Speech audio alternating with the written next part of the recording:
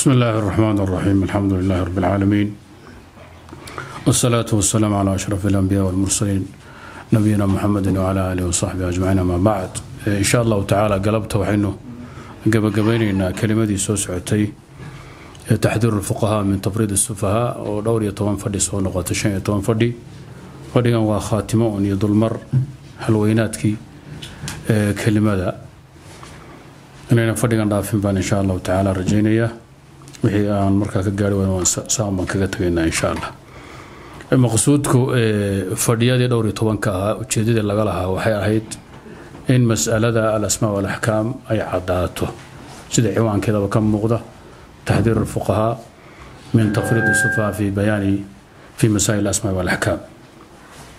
Kelimadu waxay ka koobnayd laba laba fasal ama laba baab baynu ka dhignay. Fasalkii koowaad wuxuu ku saabsanaa qofku muxuu muslim ku noqdaa iyo adilada loogu xukmayo qofka islaamnimada. Iyo waxa loo cuskanayo. Fasalkii labaadna wuxuu ku saabsanaa ariiqatu takfiir asharciya.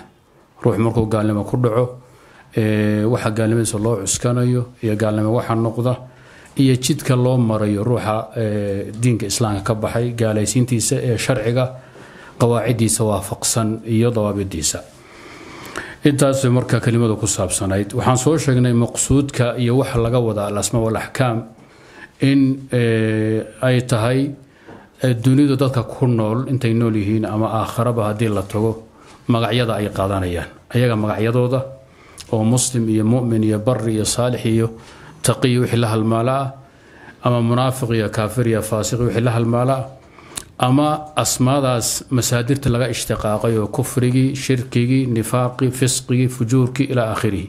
Asmaa marka leeyahay waa masaadirtii awsaaftii iyo asmaa lfaaciliin oo ismi lfaacil waxa u taqaanin ah ayaa laga wadaa. Axkaamtuna waa qofka xukumkiisa adduunka iyo aakharaba haddii la cambaarayn iyo haddii la caayi haddii la cadaabi iyo muwaalaad iyo mucaadad waxa ku xiran wuxuu naga mudan yahay wuxuusan naga mudnayn ayaa axkaamta laga wada waa inaga soo guurina dhowr naqli oo qadiyada ku saabsan oo sheikhulislaam ibnu taymiya min kalaamihi ahaa. Maxamuud mulaaxim ninkii loodhan jiray muctili zaydiga asaga wuxuu yii markuu tarjamaystay kitaabkiisa alfaa'iq fi usuul iddiin wuxuu yidhi alkalaamu fi lasmaai walaxkaam yacni qadiyadu ma aha qadiyad uun sheikhulislaam ibnu taymiya keliga uu ka hadlay. Culama muslimiinta sheegatoo dhan baa ka hadla الكلام في الأسماء والأحكام أما الأسماء فقولنا إيمان وإسلام وكفر ونفاق وصغيرة وكبيرة وأسماء فاعلها أسماء وحين كودنا إيمانك يا إسلامك يا كفرك يا نفاق يا دنبك وصغيرين وكبيريها يا ددك سمي وحيابها الله سوى شيء مقعيدود كقولنا مؤمن ومسلم وتقي ومتقي وبر وصالح وكافر ومشرك ومنافق وفاجر وفاسق مركز كهالله خلافك أهل القبلة اسكو خلافين asmaadaani ma manquula mise waa muqara calaa awdaaciha lugawiyu ka hadlay alfaa'iq fi usuul diin shan boqol sideetan iyo saddex ad ka fiirin kartaa waxaynu soo maroon tilmaannay khilaafka u horreeya caqadiga ahaa. Alkhilaaf alawal ee ku saabsanaa fi asli diin oo usuul diin ee caqadiga ah wuxuu ahaa khilaafkii dhexmaray ahluqiblaha ee ku saabsanaa fi ahli lkabaa'ir dadka ku dhaca dunuubta waaweyn maxaa uu xuguma aakhiriya adduunba ayuu ahaa khilaafka u horeeyey ee caqiida ku saabsan ama usuulidiin ku saabsan ee muslimiin dhex mara. Marka masaladu waxay mudan tahay in layska taxqiijiyo. Yacni ahlulkabaa'ir baa laga wada hadlay maxaa uu xuguma mooyeene ahlu qiblo iskumaysan khilaafin bidcigooda iyo sunnigooda. Ninkii kufri ku dhacay maxaa u xuguma yacni masalada waa masala maxsuuma. Cinda ahli lqibla oon khilaaf lahayn. Khilaafku wuxuu ka yimid fii ahli lkabaa'ir dunuubta waaweyn ee macaasida een gaadhsiisanayn gaalnimo iyo shirki axadka ku dhacay aakhriya adduun maxaa xukuma lasku khilaafay khilaafkii u horreeyana waciidiyaa bilowday waadna ogtihiin oo khawaarij nimanka la odhan jiray baa bilaabay oo isku khilaafa laba qayboodoo dembi walbaba kuwa ka dhiga kufri ka dhiga iyo niman yidhaahda dembiga weyne kabiirada keliya unbaa lagu gaaloobaya waxaynu soo tilmaannay xaqiiqat liimaan waxay tahay cinda ahli sunna waljamaaca waxaynu taqriirinay oon faahfaahinay sababka keenay khilaafka in ahluqiblo isku khilaafaan xaqiiqat liimaan taasna waynu soo tilmaan. Waxaan ka degnay kala qaadida la kala qaadayo dariiqada dadku ay islaamka ku soo galayaan.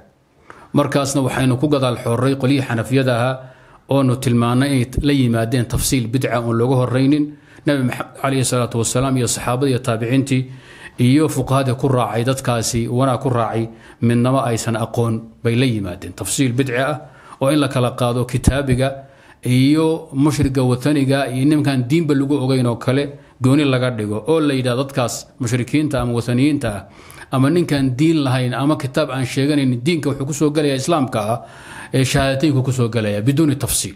Laa ilaaha ila allah maxamedun rasuullah hadduu yidhaahdo wuu islaamay.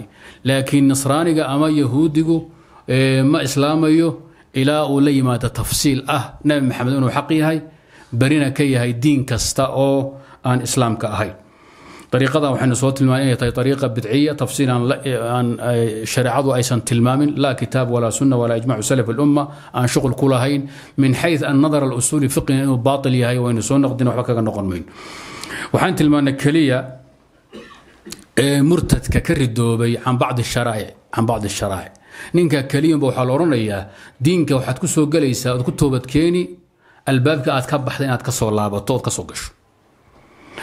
Murtadiintu labay ahaayeen nin diintoo dhan ba ka baxay. Diintoo dhan ka baxay anu baan ka baxay diinta islaamka waxaan ahay yahuudi baan ahay ama nasraani baan sida kuwa hadda soomaalida qaybo ka mid a meelaha yurub iyo galbeed ka soo dhadhawaaqay yidhahda waan masiixiyiin baana la istaagoo kale. Ruuxu inuu diinkaba ka baxo oo islaamka uu ka bari noqdo oo saa u ridoobo waa waa murtadun can jumlat lislaam ka asagu kaafirka asliga siduu ku soo islaamuu ku islaamaya. Shaatiinki baa loo qaban kadib waxaa leeyahay hagaaga ku haga waddada wanaagsan. Nin waxaa jira la yihahda murtad can bacdi sharaa'ic can bacdi sharaa'ic nabi maxamed inuu xaqii aaminsan yahay kitaabka uu xaq yahay ilaahay buu rumaysan laakiin wuxuu yihi salaada waajiba maaha salaaddii buu dafirsan yahay. Ninka muxuu ku islaamahaya inuu salaadii ogolaado wujuubkeedii xaggana uu tukado ku islaamaya. Almurtadu can bacdi sharaa'ici yadkhulu fi lislaami min albaabi aladii kharaja minhu albaabka uu ka baxay baa la imow. Zakadii buu diiday. Inta kale diinteenna wuu ogol yahay. Waa murtadun can izaka wuxuu ku islaamayaa inuu zakada ogolaado keligeed. Dhihi mayna hadda towxiidka u qabta. Ku mashquuli mayna ama towxiidka qabasho sunna ha noqoto ama waajib ha noqotee inuu ashaato kuma islaamahayo wuxuu ku islaami keliya. Wuxuu diidanaa inuu ogolaado u aqbalo. Kaan baan ogol lahay. Marka qadiyadaasi tafsiilka bidciga markaynu maraynaynu tilmaannay waana tafsiil aansan lahayn. Asalka ay dejiyeen xanafiya wuxuu ku keenay in ay axaadiis badan iyo aayaad qur'aana iyo aahaartii salafka ay ta'wiiliyaan ama ay taxriifiyaan. Waana lagu yaqaan nin walba asal bidca la yimid dhibkaasuu la kulma.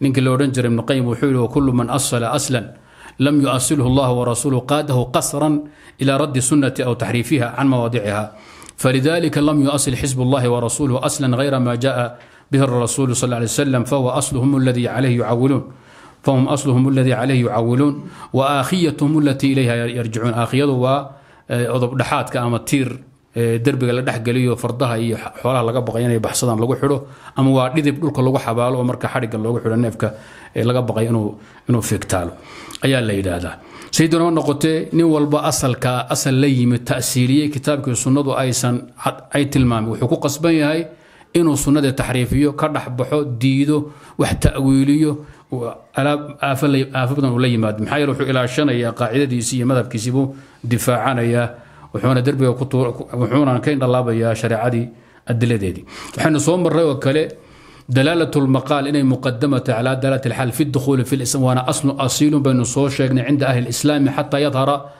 alkufru min almari qofku shahaatooyinka ku dhawaaqayo iyo waxa ka muuqanaya ee islaamnimo ah ayaa wax walba laga hormarinaya taasaa loo xukumaya iyadaasaa lahaynaya ilaa gaalnimo cad ruuxa ay ka muuqato.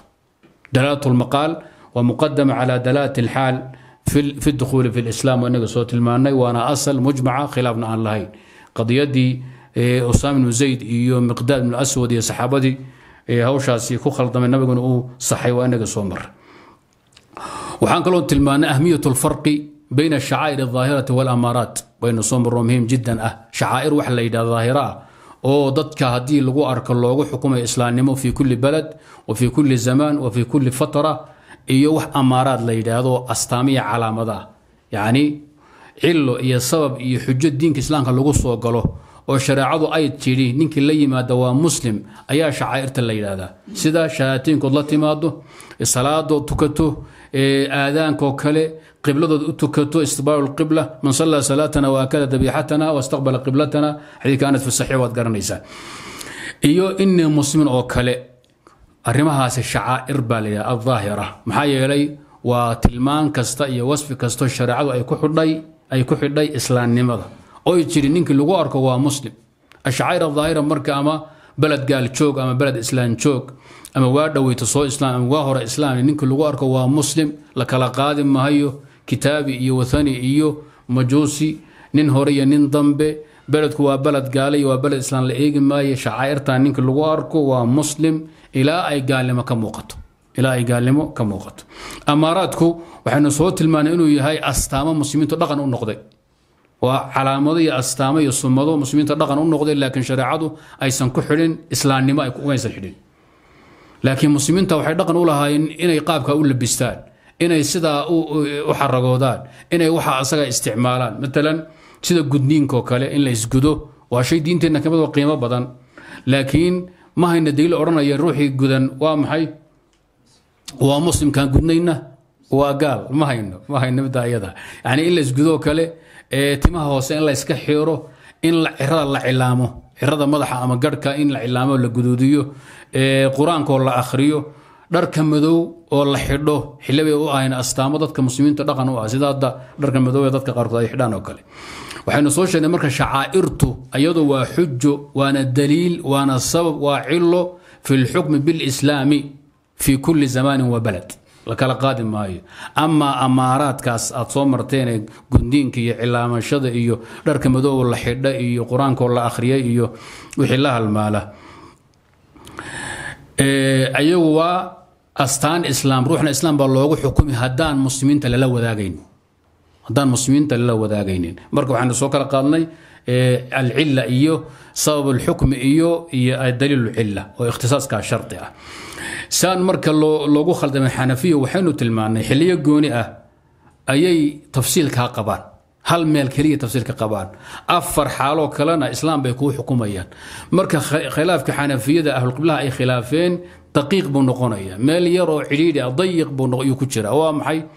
Waa marka aad ku islaamayso biliqraar binutqi bishaadatayn cinda alqudrati calayka gacanta lagugu qabtay waad noo timid waad joogtaa yahuudi baa tahay ama kristan baa tahay inaad islaamka soo gashaad rabtaa aad ku soo gasho binutqi bishaadatayn markaasay tafsiilka codsanayaan laakiin haddii dagaal adoo lagula dagaalamayo xabadi socota adaa shahaadato waa muslim baa kuleeyihiin muslim baa tahay bay kuleeyihiin haddii ruuxu daarulxarbi uu joogo ama daar kufr uu joogo oo lagu arko shahaadataynkii iyo asagoo qirhaya islaamkiina waa muslim bay leeyihiin. Fii lkufri tafsiil ma qabaan. Cinda alqitaali walxarbi tafsiil ma qabaan waxaad ku islaantay bilafcaal laa bilaqwaal waa tukatay adoo tukanaya lagu arkay. Ama sidii muslimiinta u xajinaya ama sidii muslimiinta zakada u bixinaya ama axkaamtii khasaa'ista muslimiinta ku ahayd la imanaya lagu arkay. Oo afcaala islaam bay kuu xukumayaan. Marka afraad ay islaamka ku xukumayaan waa hadday xaaladdu ku laabato xilligii nabi maxamed siday ahayd ay ku laabato.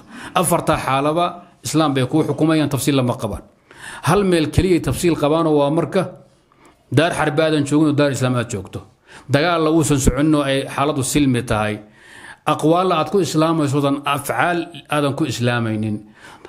Khilaafna uu jiro ka duwan sidii xilligii nabi maxamed. Halkaa maroo dayiqa ah ayay qabaan tafsiirka maca dalika inuu bidca yahay baynu soo sheegnay.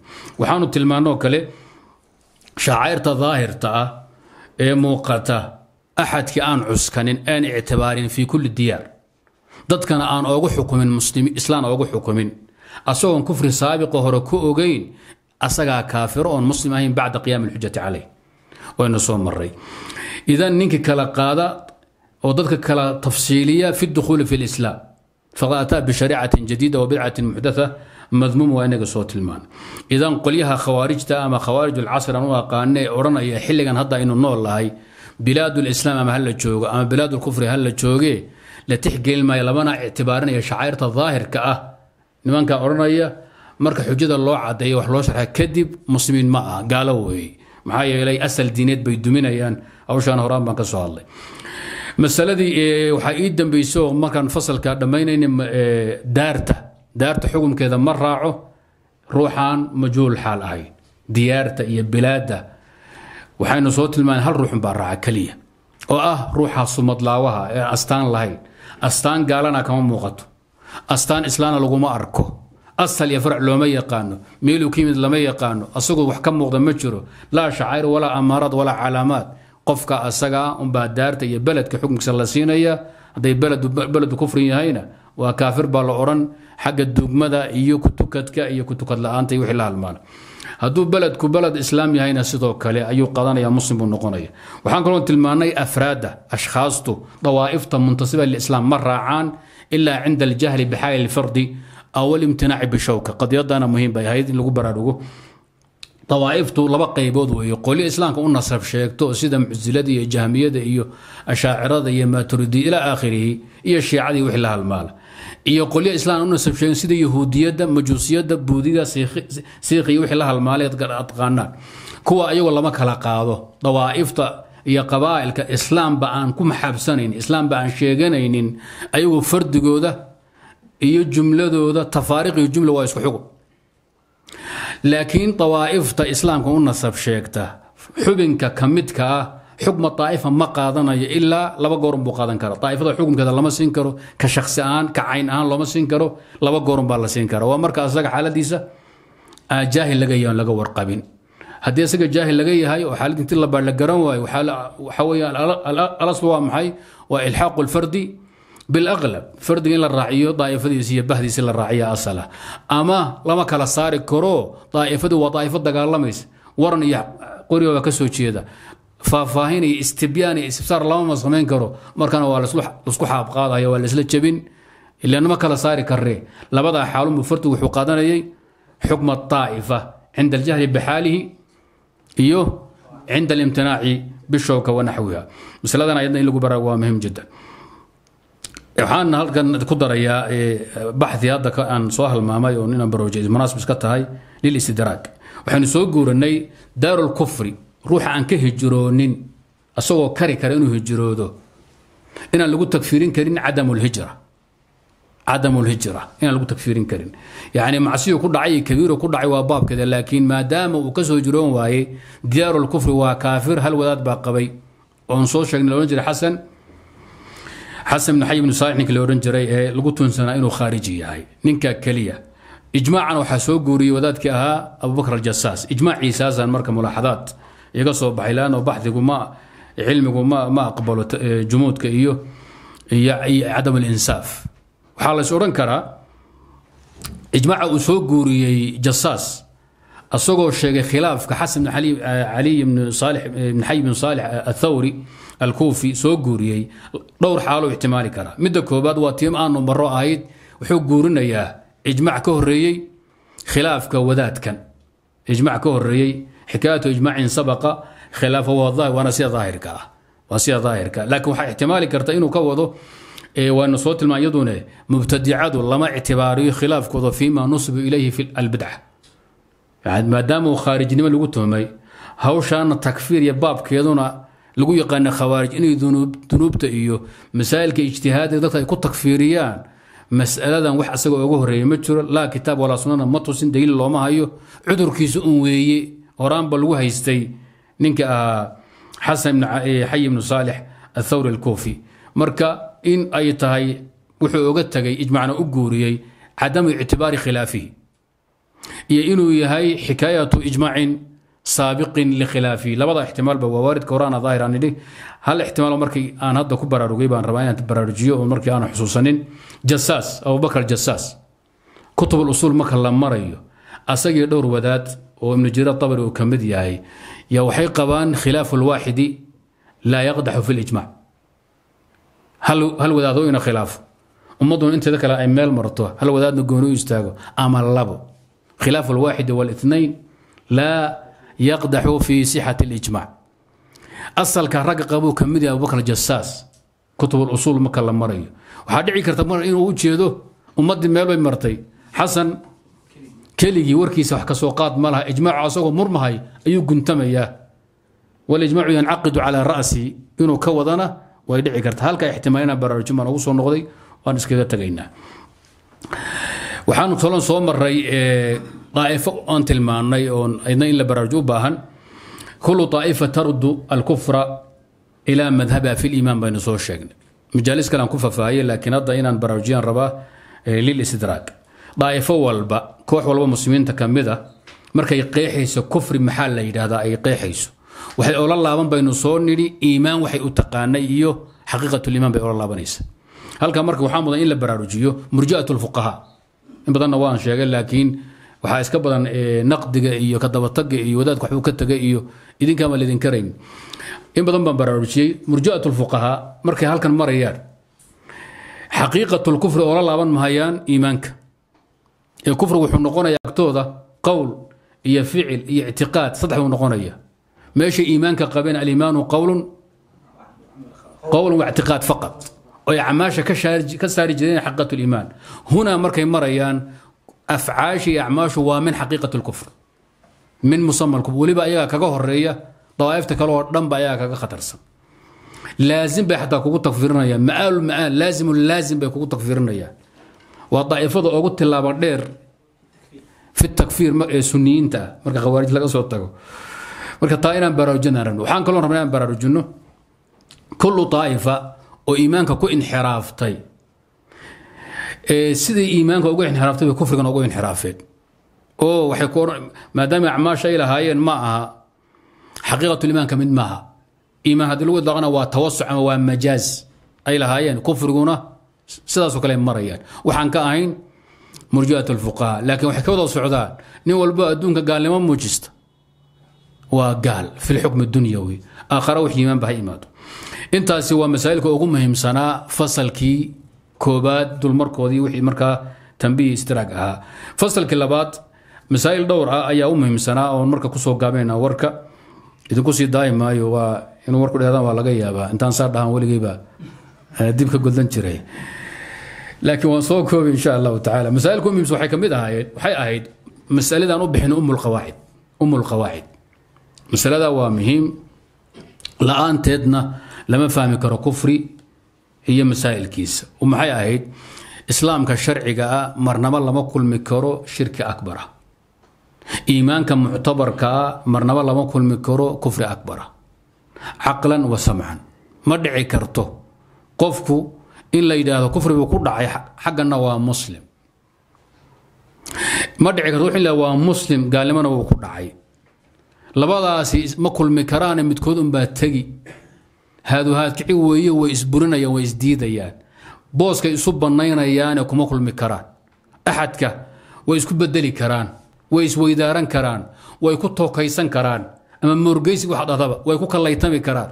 Laakiin inay ku kulmaan ma dhici karto inay ku kulmaan ma dhici karto. Haddaad aragta meel la tilmaamayo iimaan iyo shirki baa yimid. Aad aragto waxaa weye iimaankaas aliimaan allugawi baa laga wadaa. Aliimaan allugawi ayaa laga wadaa. Wamaa yuuminu akarum billaahi ilaa huwa mushrikuun. Waa iimaankii aan lugawi aan lagu sogay diinkiisa waa arububiya laga hadlaaya. Arububiya laga hadlaaya. Hawsha inaad fahantaan baa la rabaa. Qadiyadda marka waa qadiya ijmaaciya bal wuxuu ihi ibnu jariir atabari iyo keyrkiiba ashaafici baa ka hadlay abulxasan almawardi baa ka hadlay qaasim maslam ibnu qaasim baa ka hadlay. Culimmado dhan baa ibnu jariirna wuxuu soo guuriyey ijmaacu lummu soo guuriyey. Weliba waa muxaal bur waa mustaxiil. Caqlan wa naqlan inay kulmaan iimaan muctabara yani iimaan lagugu xukumay islaamnimo iyo shirki akbar ama kufri akbar ma kulmi karaan. Way isburinayaan waa naqiidayn. Idan waa meeshay wax ka hallaabeen waa meeshuu wax ka qurmay. Dabagelisku meeshuu ragga ugu baxay bayduna ugu go'day wey.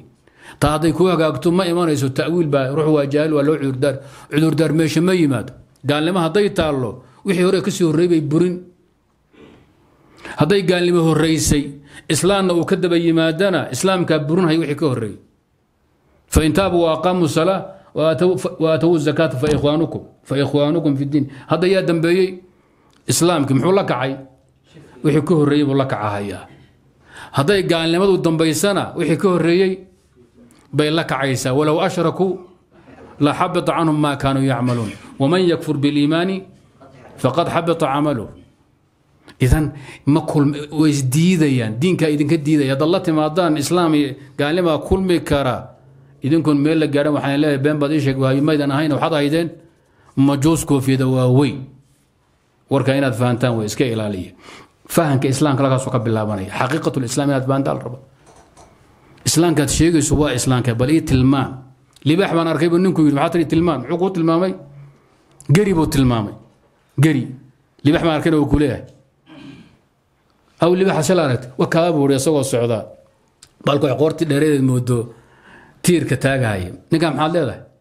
Libax maad arag libaxna ma taqaanid. Islaamkaad sheegayso wadaadow hadduu yahay islaam koofiyad ku cacaaminhaya nin shirki ku dhuflaynaya waxaan leenahay adaaban horaan islaaminba. Adiga qudhigaada ayaan islaan aqoonin. Maxay islaan aad sawirtay oo beenbeen oo faham khaldan adu aad qaadatay baad haysataa mo islaan ma kaas. Islaamkii nebi maxamed lala soo diray. Annaguna muslimiin aan ku nahay waa islaam ka caagan diidahaya shirki iyo kufri akbar in unu la kulmo oy meel iskugu yimaadaan.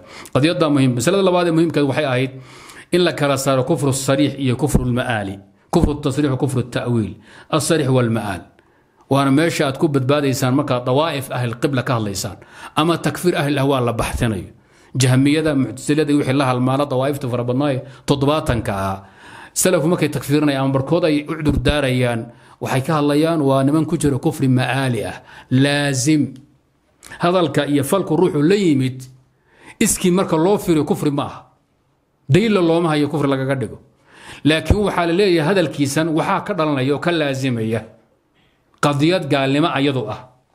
Waa ninka ku soo miaalay masaa'il dhowra oo ka mid ahayd. Nimankii yidhi ilaahay wuxuu abuuray bini aadan ama makhluuqaad iyo xayawaan iyo kaa'inada adduunka jooga. Jinsi walba nabi bay leedahay iyo rasuul. Oo dameeruhu nabi bay leeyihiin. Oo doofaarku nabi baa laga soo dirhayaa. Oo isheega daanyeerku nabi buu leeyahay dameertuutaydu baranbarta waa inaga soo miaalin weedha iyada in la yidhaahdo ereyga inuu kaa subxood aaminto wax gaalnimo ooma hayno. Aayad iyo xadiid odhan ninkii yidhaahda fii kulli ummatin. Min alkhalaa'iqi bahaa'im iyo xayawaanaad waxay doon ha noqdeen ambiya laga soo waa gaalnimo diinta kuma hayno. Laakiin waxay dhaheen culummadu warka waxaa ka dhalanhaya in la quursado ambiyada nabinimada. Nabinimadu shay sharaf leh oo qiimo badan ayuu ahaa. Dameertuutay baa nabi ah. Iyo baranbarada kafta lagu dilhayaa nabi ah suuragal mahay dheh waa qashiinsi iyo bahdilid iyo darabada la daraabahayo martabatu nubuwa maqaamu risaala. Taxqiir istihzaa baa ka imanaya. Ninkii ambiye iyo rusul quursadana maxaad sugaysaan? Casar buu daaqada ka baxaaya. Idan nimankaa warkooda waxaa ka dhalanaya gaalnimaa la yidhi alqur-aan makhluuq baa ka mid a. Nimankii inaga soo maray inaad kala qaadaan wadaadow kufriga sariixa ah. Kufri sariix maxaynu ka wadnaa. Waa falka iyo weedha iyo ictiqaadka iyo tasawurka iskii u ah gaalnimo bidaliil bidaliil sharci. Kufri sariici ma'aalla ama laazimna ama ta'wiilla waxaan ka wadnaa? Shayga iskii aan loo haynin gaalnimadiisa daliil looma hayo laakiin waxa ka dhalan haya ayaa gaalnimo oo daliil loo hayaa qadiyadda haddaan la kala qaadin dhib badan baa ka yimaad. Masalada saddexaad eenu soo marra waxay ahayd muhiimka ahayd kufriga iyo shirkigu waa dhowr qaybood laba qaybood weeye mid ku sugnaada bilkhabari wasamci faqad iyo mid ku sugnaada bilcaqli wasamci macan gaalnimada marka caqliga aan lagu ogaan karinna waxay ku xidhan tahay kitaab wa sunnata rasuuli bay ku xidhan tahay waa inta badanna kufriga tawalliga iyo takdiibka iyo juxuudka la yidhaahdo weeye. Oo waxaad ku garanaysaa wax maanta lagu gaaloobi iyo umunaa khadiijo aysan ku gaaloobin. Umunaa khadiija waxay dhimatay iyadoon shanta salaadood aan aan tukanaynin. Maxaa yeelay? Lamaba jidayninba lama farad yeelinba iyadoo kaamil iimaan ah oo iimaankeeda buuxo oo afdalu nisaa'i albashar ah calaa khilaafi fi lqadiya ayay geeriyootay. Ninkii maanta shanta salaadood ka tagana ee yidhahda imama saaro ama ka tagana waa gaal baad leedihiin. Maxaa yeelay kufriga noocana kufri caqli lagu garta waa mid laga sughayo shaarica. Intaan rasuulka la soo dirin ninkii aan ka warqamin ama beeniya maxaad dhihayseen waa ka duwanaa bacdamaa la soo diroo la arkay. Saada nabig wuxuu yihi waladi nafsi biyadi maa muxuu ahaa maa min yahuudiyin walaa nasraaniyin yasmacu bi uma lam yumin bima ji'tu bi ila kaana min asxaabi الnaar min ahli الnaar xadiidkii fi saxi muslim garan xadiid abi hurayra idan yasmac bi yasmac bi laxaan kufrigiisu waa kufru tawali waa kufru lcisyaan markaad shayga hesho eed ogaata kadib jawaabtaad ka bixiso reactionkaad ka bixisaa xukumku ka bilaabanaya intuusan ku soo gaadhin laguma haystaba kumama saaraba buluuqu dacwa alkhitaab baa shardi ah kufriga noocaasa kufri samciga la yidhaahdaa. Caqli laguma garto fitran laguma fahmo. Midka asagu caqliga ee fitriga ana waa kufriga ku saabsan baynu soo maray aljahlu billaah wa bisifaatihi daatiya waa iyo aljahlu bixaqiiqati ila aakhirihi. Saa darteed wuxuu sugnaanayaa midka caqliga ah ismi ahaan iyo wasfi ahaanba wuxuu sugnaanayaa qabla alwaxyi watanziil midkan kale tawaliga iyo noqda jaxdiga takdiibkana wuxuu ku sugnaadaa bibuluuqi dacwat wuxuu ku sugnaadaa. Waxaa kaloo muhiima soo maray in la kala saaro takfiirka wasfiga ismiga iyo takfiirka ciqaabiga iyo tacdiibiga ah. Ruuxu wuxuu ku hadlay ama sameeyo xukunkiisa in la siiyo waa masala lugawiya caqliya fitriya. Nin walba wuxuu sameeyo in lagu dhajiyo. Magac baa lagaa siin oo lagaaga dhambali falkii wuxuu ahaana waa lagugu xukumi. Laakiin falka asaga in lagugu ciqaabo ama lagugu dilo ama lagugu daayo waa masalo u khuduucaysa rabbulcaalamiin xataa nabiyullaahi ciisa ayaa furay baabka asaga in tucadibhum fainahum cibaaduka wain takfir lahum fainaka anta alcasiiz alxakiim muxuu ka hadlayaa? Gaaluu ka soo hadlay. Kuwii isaga ilaahay isagii hooyada dhahay waa ilaahayuu ka soo hadlay ilaahay buu la hadlay baabki buu furay. Qudratu rabbi subxaanahu wa tacaala. Tacatuf ha noqdo talatuf ha noqdo waxyaabada ilaa toban wej lagaga jawaabaye wuxuu taagan yahay waa in takfir lahum. Maxaa yeele masalatu khufraani shirki waa masala jaa-isa caqlan. Shirki in la dhaafo oo ninkii samey loo dhaafo oon la ciqaabin waa masala jaa-isatun caqlan. Sharcigu samcigun baa diiday oo ilaahay baa diiday samcan. In allaha laa yakfiru ka akhriya min xayu alqudra rabbaaniya maadaama ay jaa-iso tahay. Xugum samci unbaa diidaye saa darteed buu nabi ciise yidhi fainahum cibaaduka wain lahum. Yani laba masalo laskuma khaldo horaan baana loo sheego waxaa lagu asagaa u sheegay inahu man yushrik faqad xarama allahu cala aljanna wuu ogyahay nabi ciise. Isagoo nool iyo ka hadla hawsha ayada oo jooga oon aakhare la tegin. Damaba dhimanine laakiin masaladu waxaa masalada samciyaadka iyo qudratu rabbi hoostagahaya laguma khaldo almasala alcaqliya alfitriya laguma khaldo. Labadaa in la kala qaadaa muhiima. Marka wamaa kunaa mucadibiina iyo baxdiga ahaa halkaa ku soo maray masalada kale shanaad waxay ahayd tabiciyat daari wa adcafu dalaa'ili fi lxukmi bilislaami aw saa darteed lama ogola in la cuskado tabiciyat daar intii daliilka la helayo hebel beled hebel buu jooga beledkana waa beled gaal asagu waa gaal lama odhan karo. Hebel magaalo islaam buu joogaa haddii asagu waa muslim lama odhan karayo. Ilaa laga waayayo daliil kale oo ruuxa loogu xukumo islaamnimo ama gaalnimo. Qadiyadana waan soo maray saa darteed hal ruux basaaba hoos taga daar oo la yidhahdo majhuululxaal faqad masalada toddobaad u dambeysay lixaad u dambeysay masaa'il badan waan ka tegaya wixii markaa igu muhiimsanaa baan idin xusuusinaa keliya waxaan soo sheegnay in culummadu isku maandhaafeen daarta islaam beledka islaamka wareegu ka wareegaya min islaamin ilaa kufrin inay tahay masale cawiisa daqiiqa jiddan. Meeqa qowl baanu soo sheegnay ilaa toddoba qowl mise lix qowl baynu sheegno masalada ku jira. Waxaan loo badnaa waxaan loo badnaa inay adag tahay dhul islaam ahaan jiray oo muslimiintu ka talin jireen. Qabsi ay gaala qabsadeen inuusan ku noqonaynin beled gaal uusan ku noqonayn baa loo badnaa inta weli uu xun baaqi ka yahay astaamihii iyo calaamadihii islaamka. Taasaanu soo marray weliba masale aad adag ahayd. Majliskii afariyo tobnaad baynu ku soo sharay qadiyadda fadhiga afariyo tobnaad inuu amaan jeclahay. Saa darteed marka bilaadan adduunka maanta dhoobanee konton iyo dhowrka ah ama bilaad islaam ha laga dhigo ama bilaad kufri ha laga dhiga wax kaga xidhan dadka ma jirto. Nin walba wuxuu ku xugum yahay wixii ka muuqda iyo wuxuu sameeyo ku xugum yahay. Bilaadan waxaan la raacini qofka aan astaam lahayn een shacaayir ka muuqanin een amaaraad ka muuqanin. Qadiyadaasi marka waynu soo sharxnay xataa marka wax laga faa'iidahayo hadda oo weyn ma jiro. Diyaartu waa diyaaru kufrin iyo waa diyaaru islaam. Wax weyn laga faa'iida ma jiro marka dadka loo xukumahayo gaalnimo. Aan islaamnimo loo xukumayo. Waxaan u gudbayaa dardaaran yaroo ku saabsan masaa'il dhowr ah oon raba inaan idin xusuusiyo insha allahu tacaala. Marka koobaad waxaan leenahay diinta islaamka laba maqsuud bay ku dul wareegtaa iyo hal wasiilo. Oo halweynaadka xubno waaweyn baan idiin sheegahaya wixii aan la wada gaari karin wax ka sheegaysa lagama taga dhammaantii. Marka diinka islaamku ka fahan ahaan laba asal laba maqsuud iyo hal wasiilo ku taagan yahay. Laba maqsuud iyo hal wasiilo. Maqsuudka koobaad waa ilaahay keliga in la caabudo waxdahu laa shariika lah ambiyoo dhan baan loo soo diray rusul oo dhanba ilaahay keliga in la caabudo oon loo waa maqsuudka koobaad. Ka labaadna ilaahay waa in lagu caabudo wuxuu asagu jideeye uu amray ee uu jecel yahay. Ilaahay wuxuu amray ee uu jideeyey ee uu jecel yahay waa in lagu caabudo. Asalka maqsuudka koobaad waxaad kaga badbaaday shirki iyo kufri baad kaga badbaadi asalka labaadna waxaad kaga badbaadi bidco. Ninka mubtadica ilaahay buu caabudaa laakiin wuxuu ku caabudaa ariiqo iyo wasiilo ilahay raalli usan ka ahayn.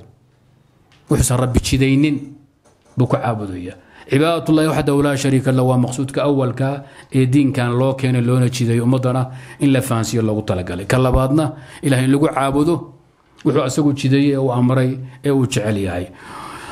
Didkoodana waxaan sheegnay waa ashirku walbidacu mushrigu ilaahay uunkiisu isku laraa iskuna qasaa mubtadicuna allu ugu dhowaadaa ariiqo uusan rabbi raalli ka ahayn wasiilada soo ma aha. Labada asal u adeegaysa waa maa axalahu allahu min aayibaat ruuxii ilaahay caabudi lahaa. Ariiqada saxanna ku caabudi lahaa wuxuu calfadu u baahan yahay. Quud iyo qaaran buu u baahan yahay. Jidiin buu u baahan yahay. Ilaahay wixii ayibaadkee wanaagsan inoo baneeyey waa wasiila u adeegaysa labada asal ee horeen soo sheegnay. Saa darteed xadiidkii qudsiga ay fi saxiixad garanaysaan baa saddexda masaleba tilmaamay. Inii khalaqtu cibaadii xunafaa waa tii waa tii koobaad inii khalaqtu cibaadii xunafaa ay muslimiin muwaxidiin.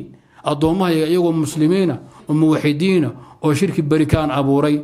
Fajtaalathum shayaaiin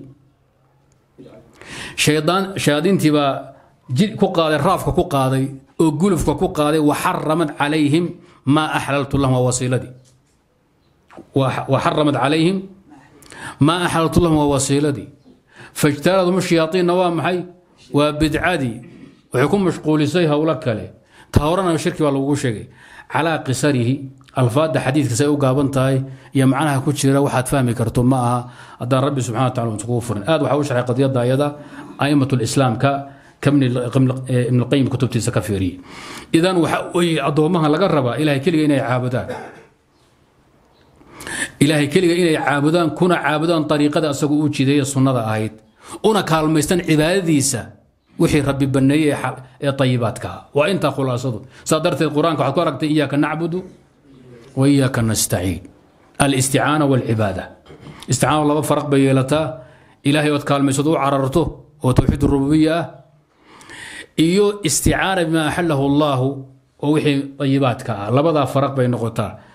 Qodobka labaad ii raaca waa inaan baraarujiyo. Muslimiintu waxay ku badbaadaan itibaacu rasuulillaah haddii saddexdaa labada aslan isla fahanay iyo wasiiladii rabbi subxaana wa tacaala uu jideeyey xalaasheeda aan qaadashadeeda in lagu badbaada aynu tilmaanay waxay ahlulqibla oo dhan ba isku waafaqsan yihiin. Kooda muctasiliga jahmiga khaarijiga xataa ummadda takfiirinaya kulligood waxay isku raaceen muslim wuxuu ku badbaadaa adduunkana uu ku baraara aakharana balaaya kaga badbaadaya naar. In wadadii nebi maxamed uu raaco. Oo uu laasimo ariiqadii rasuulka min hayri tasarufin biziyaadatin fiiha walaa nuqsaan. Wadadii iyo tubti nabiga in la raaco ayadoon waxba lagu darin waxaan laga goynin ayaa lagu badbaadaya. Maxaa yeelay in wax lagu daro oo ariiqadii nabiga iyo sunnadii iyo shariicadii ariiqadii ku darto macnaheedu waxaa weeye kitaabka rabbigay iyo sunnada nebi maxamed ma dhammaystiro oo waxay ka tageen waddo alle loogu dhowaado. Oo waa naaqis macnahaasaa ka dhalanaya. Laasimka aad iyo aad ku dhib badan baa ka dhalanaya. Haddii shareecadii iyo sunnadii aad wax ka goysana waxaa ka laasimaya waxaan loo baahnayn bay alle iyo rasuulka la yimaadeen oo shareecadan waxay rabtaa in kurtumaha laga jaro laamaha laga guro ul fiican laga soo reebo oo filgimada meesha laga saaro. Waa khatar kale. Marka nuqsaan iyo ziyadaba waad iska ilaalin. Saa darteed waad badbaadaysa saa darteed ninka imaam maalik abu cabdillah wuxuu yidhi man ibtadaca fi lislaami bidcatan yaraha xasana faqad zacama ana muxamadan khana risaala. Ninkii bidca la yimaada oo u arkay inay wanaagsan tahay wuxuu sheego ku andacooday isma ogee nebi maxamed khaayin buu ahaa.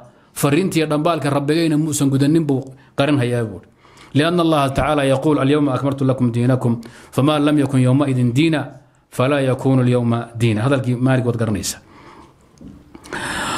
waxaa ii raacdoo saddexaad haddaad dalabatulcilmi tihiin iyo haddaad muslimiin tihiin iyo haddaad caamatihiin iyo haddaad culamo tihiinba ilaahay subxaanahu wa tacaala in laisu bihaanbihiyo oo asaga la cuskado oo laisu dhiibo oo baahi rabbi la muujiyo waa min addiin xooggiinna iyo xeeladiinna iyo caqligiinna iyo dafdaftiinna badan yaysa idin dagin ilaahay faham weydiista towfiiq weydiista inuu weydiista. Fi lmasaa'il alcidaami waasigaar waa inaga soo maray hadalka shekh islam ibn taymiya raxmatullah tacaala caleyh oo odhan jiray ninku waxaa laga yaabaa inuu noqdo qofku nin aada u caqli badan oo weliba fiiro dheer oo aragti dheer oo indheer garad ah. Xaggana uu ka ilduufo shay aada iyo aada u cad. Maxaa yeele towfiiqdii hanuunkiida allah iska leh waxaa laga yaabaa qofku inuu yahay dabiin laga roonaa aan maskax badnayn fiiro dheerayn hooskiisa wax ka fog baan arki karin. Xaggana ilahay uu ku hanuuniyo shaygii dadku ay garan waayeen. Wuxuu marka wuxuu alla bixiyo weeye ilaahay ha la baryo rabbina ha la isku xidho. Qodob kale ii raaca waxaa weeye xaqaa'iqda sharciga ama cilmiga ah. Lama garan waayo adkaan iyadoo adag tahay ama libidhsanaa ay libidhsan tahay inta badan in iyadu aad iyo aad u libidhsan tahay ama u qarsoon tahay ama fahamkeedu adag yahay looma garan waayo haalibane waxaa loo garan waayaa cadamu lihtimaami bitacarufi cala alinsaaf inaad dadaalba kuma bixinaysid. Waktiba siin maysid inaad masalada baadho wakti ku bixiso dabagasho boqol kitaab ku akhrido.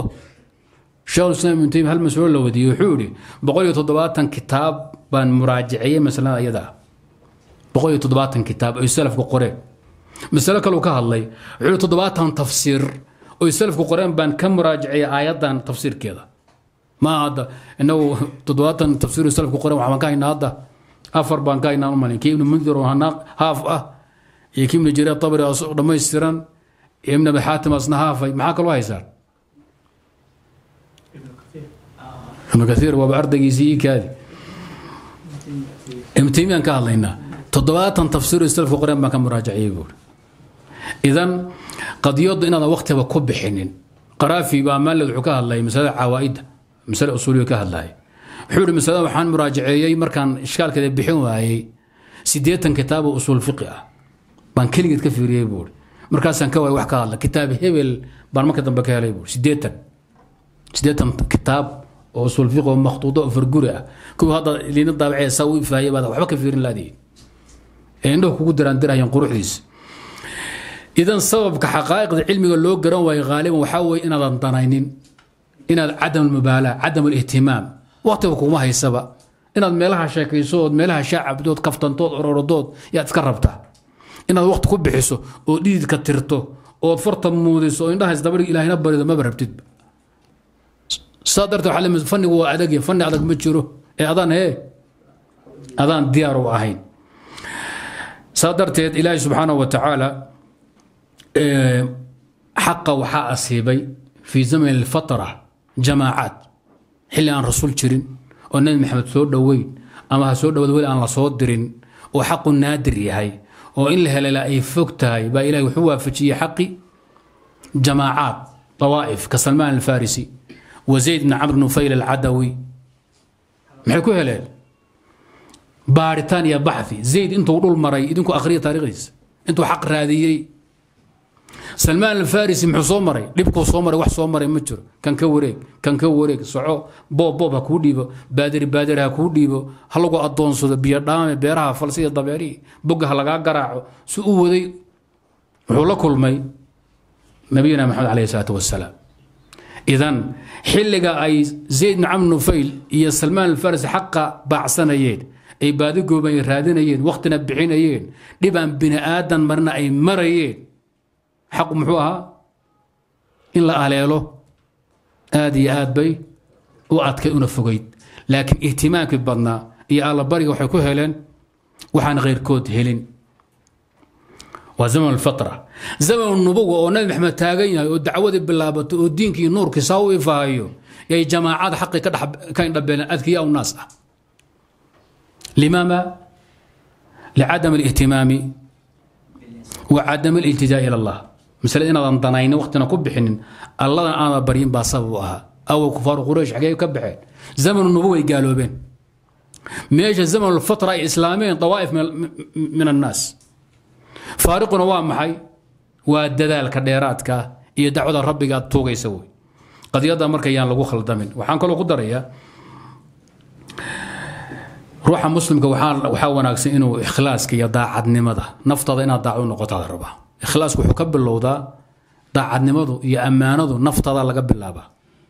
Naftaada ceebaheeda waad og tahay meeshay ka liidataad og tahay naqsigeedaad og tahay ruux bini aad si kastoo lagu ammaano ama laguu boonboonayo wax adiga iska kaa og. Wax adiga iska kaa og ma jiro. Adigu naftaada ha khaa'imine naftaada xumaanteeda wax ka qabo ilaahay ka cabso boonboonintani ammaanta iyo xoogow digdigtaasna aysan ku tagin ikhlaas baa lagaa rabaa shay kasta aad daacad u noqoto. Ikhlaaska koobaadna ilaahay subxaana wataala camalkaada aad u saafi garayso. Naftaadood ka qabato alle subxaana wa tacaala oo si wanaagsan aad ugu xidho. Xaqaa'iqda diinadooda fahanto. Insaaf iyo garsoor iyo cadaalad. Dadka iskhilaafsane masaa'ilka isku haya kanaa ree hebel ee kanaa kuxi kanaad saaxiib adoon eegin xaqa u insaaf. Xaqa daacad u noqo. Asaga ammaanada sii asagaa muhiima taqdiisu lxaqi laa taqdiisu alashkhaasi wadaat shayga mudan in la xurmeeyo la qadariyo waa mabdaa fikradda aragtida diineed shayga saxan. Adoon eegaynin dadka isku haya maxay kale yihiin? Yaa ku xiga. Waxaa kaloo muhiima halkan marka la marayo in aad ku baraarugtaan khilaafiyaadka ahluqiblaha u dhexeeya masaa'ilka khilaafka khilaafka dhow u dhexeeyaan ka hadlaynaa qaacido qur'aanku tilmaamay baa jira oo muhiim jiddan meelo badan qur'aanku ku tilmaamay. Dadka ee masaa'ilka diineed isku haya ahlu qiblaha ay khilaafkooda isku dhow yahay ana kama hadlaya balaayada kale. Had iyo goor waxaad fiirisaa labadan aragti. Midda haddaad qaadato gaalnimo lagu laasimin iyo midda haddaad qaadato wax gaalnimo ka sokeeya lagu laasiminayo markaad saa isku barbar dhigto. Adoon aqoon badan ba lahayn baxdi badan ba aan samaynin. Waxaad doorataa midda kaa fogeynaysa gaalnimada la sheegay. Gaalnimada la sheegay ee cadaabka ukhrawiga iskale adduunkana madaxa lagu qaadayo midda keenaysa ka fogow waa u carartaa xanaanayka bacdu shari ahwanu min bacdi weeye halkaa iska aad. Intaadan baxdi kaleba gaadhin. Qur'aankaa tilmaamay wuxuu yidhi wamaada calayhim low aamanuu wamaada calayhim low aamanuu maxaa yeelay islaamka nabigu la yimid hadday qaataan oo sidaa uu nabigu sheegay ay tahayna jannay ku gelahayaan hadday noqon weysana wax ka soo gaadhi ma jiro. Ayagaa qababa. Marka waxaa laga yidhi muxuu islaam horta idin yeelayaa? War hadduu sax yahayna? Hee? Jannaad ku dhuflaynaysaan. Haddaad qaadataan haddaad diiddaanna naar baa idin quwaaxi. Diiddada marka maxaad ka faa'idaysaan diiddada falow sadaquu llaha lakaana khayran lahum. Walow aamana ahlu kitaabi lakaana khayran lahum wamaada calayhim low aamanuu ahlu cilmiga qaacidada laftigeeda ay isticmaalaan aan ku fiirino meelo badan masaa'il badan baa la waxay geliyaan jaxdu rab ilaahay in la ogolaado oon la dafirin iyo in la diido kee khatarsan ninka hadda mulxidka ah ee ilaahay diidan adduunka maanta jooga dadka ilaahay rumaysan naar baad gelaysaa ma laha u fiirsada dadka maanta ilaahay aaminsan. Waad khaldantihin bu iska leeyahay. Waad wareersantihin waad khaldantihin anaa idinka saxan. War ka waso inaan khaldan nahay oo ilaahay aaminsan nahay oon rabbi rumaysan nahay maxaana soo gaadhi fikrad baad qabtaa haddaad dhimataan waxba idi gaadhi maayo. Janno iyo naar midna ma gelaysaan. Wax dhiba ma jiro soo maha adugu waxaan aaminsannahe inay naar ku quwaaxi. Labadaa aragti caqliyan tee intaan kitaab iyo sunno iyo axaadiis la gaadhin. Labadaa aragti tee in la qaato caqligu keenaya midda naarkaa badbaadinaysa. Wamaada calayhim low aamanuu nebi maxamed in la rumeeyo iyo in la diido caqliyan kee roon in la rumeeyo. Maxay ninkii diiday waxaan leenahay naar buu gelayaa. Cadaab baa kuu diyaara naar baa ku quwaaxaysa. Waa ninkii diiday. Laakiin ninkii rumeeyey naar buu gelayaa ma laha kuwa diidan waxay leeyihiin fikrad khaldan buu iska dhaadhiciyey wuu ku daalaya wuu ku rafaaday. War rafarafaad ii kaadiyo naar waan ka badbaadi soo maaha naar geli mayse ciisaan rumaysna oo muusaan rumaysnahay maxamedna waan ku darsay. Waxba kuma soo gaadhin. Beenaalo unbaad rumaysay. Waxaad ka faa'iida ma jiro taagan yahay. Laakiin anu waxaan ku leeyahay beeninta aad beeninto. Beeninta aad beeniso waxaad ku gelaysaa? Naaraadan ka baxaynin. Labada ayaa roon caqliyan. Intaan la gaadhin xujo sharciya iyo caqliya. Wamaada calayhim low low aamanuu wey nafs halkaa mari. U imow masaladii laysku hayay ahluquluh maanta ka dagaalamayaan xataa wahabada isku hayeen saliba isku haysay jaahil mushriga oo mutaawila ninka islaan u xukum maxaan leenahay annagu?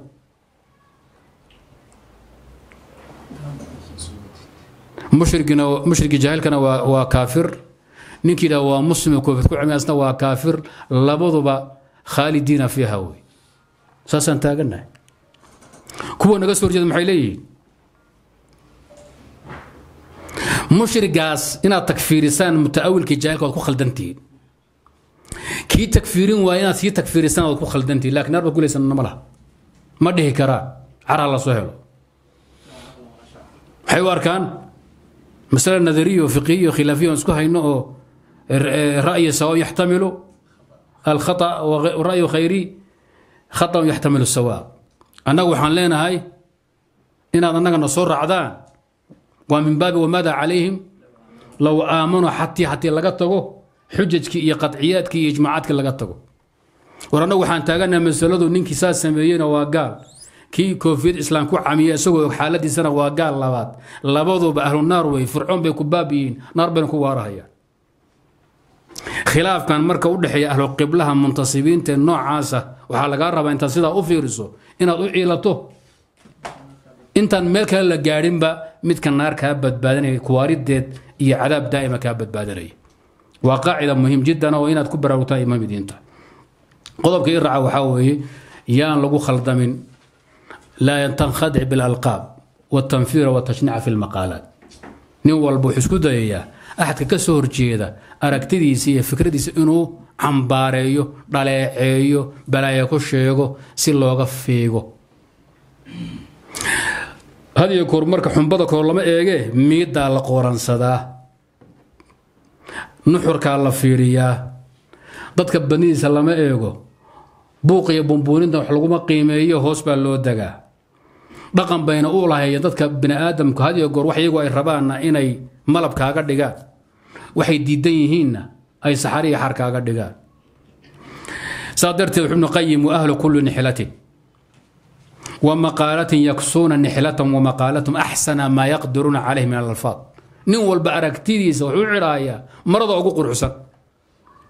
Iyo magaca ugu wanaagsan buu u bixinaya. Wa maqaalata mukhaalifihim aqbaxa maa yaqdiruuna calayh min alalfaad.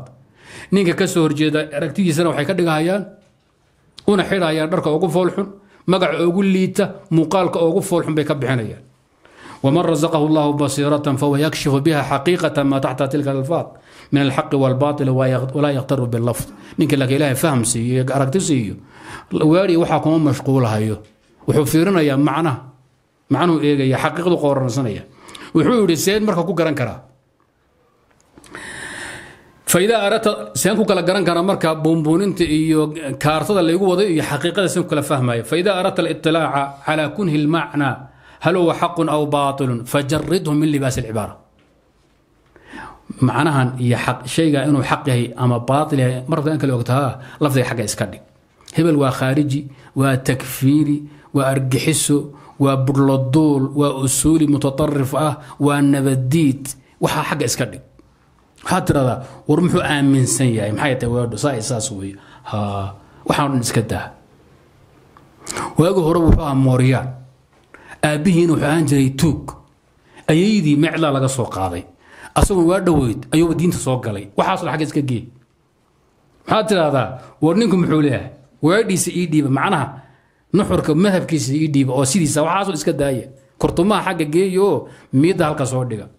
Fajaridhu min libaasi alcibaara wajarid qalbaka min alnufrati walmayl aduguna didmada ninkan aad ka disanta xagga iska dhig xayashada aad hebel u xayaynaysa xagga iska gee adoo macallin ah miyaad sheekh hebel la murmi kartaa bay ku shalay baa wada haydi qolyo daarood waagiya hawiyaha ku xumi maxay yidhahdeen maxaakimtii maxay dhaheen ma yeeli karra haddaan daarood nahay from morian to mujaahid ma yeeli karray dheheen sheekh xasan waad garanaysaa shalay baa maryaha naga furanaysa haddana maanta maxaakim islaam baa nahay.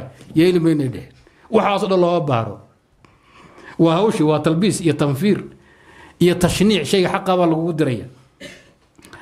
Wuxuu uhi wajarid qalbaka min alnufrati walmayl. Almawduuciya qolyaha hadda waxa qorqoraa taasoo kale. Weedh marka laguu sheego waxaad dhihi yaa qaba hebel tanna yaa qaba hebel. Iska daa sheekh hebel waa fiicane maxaa yeele weligii buu ku habsan jiray. War weligii ku habsan lasku hayaa.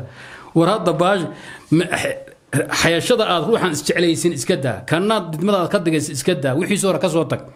Weer baa la isku hay maxaa yeelay adcafu lkhalqi baa laga yaabaa inuu masale ku habsado adoo geesa waaweynna ay ku garamarto. Way dhici kartaa. Mawaahibta rabbigagaa bixiya. Ilah baa iskale waxaan adu ma lihid wuxuu ihi intaa kadib soo maaha dharka horta ka qaad. Alfaadan foolxumada ah ee tan lagu foolxumeeyey ka tir. Tanna alfaada lagu qurxiyey ka tir. Aduguna qalbigaada waxaad ka tirtaa ee xashada ee xashada ka tir faaraqabiilka ka jooja qalbigaada. Saddex maxaa ii dhiman? Uma acطi nadara xaqahu. Si fiican masada u dhuga marka.